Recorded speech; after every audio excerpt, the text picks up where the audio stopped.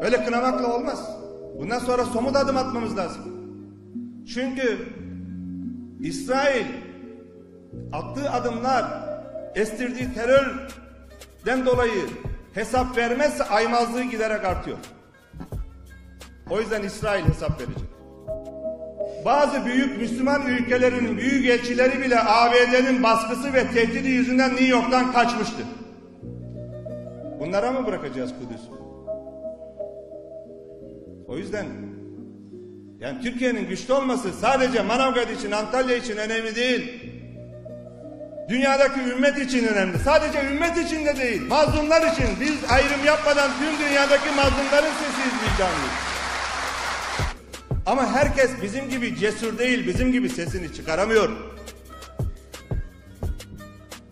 Doğruyu ne zaman söyleyeceğiz? Öldükten sonra mı söyleyeceğiz? Her gün korkudan ölecek miyiz? İnsan bir kere ölür, bin kere ölmez. Biz buna inanıyoruz.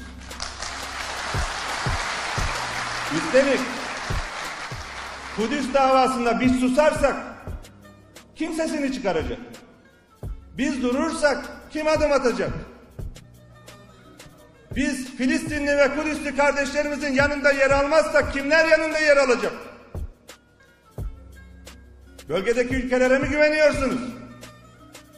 O gün katil İsrail askerlerinin yaraladığı şehitlerimiz de var 60 civarında. Güvenlik Konseyi'nde Amerika'nın vetosuyla karar geçmeyince genel kurula götürdük. Yemen'le beraber. Yemen kendi sorunlarıyla uğraşıyor. Buna rağmen Filistin konusunda en az bizim kadar duyarlı. Bizzat Sayın Cumhurbaşkanımızın talimatıyla kardeşiniz oturup neler yapmamız gerekiyor?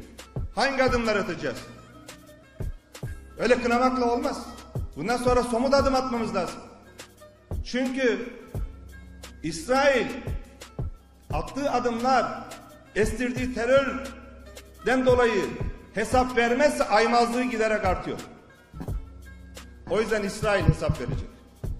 Bunun peşini bırakmayacağız. Şu ana kadar 50 civarında Dışişleri Bakanı ve Uluslararası Örgüt Genel Sekreterleri yöneticileriyle görüştük.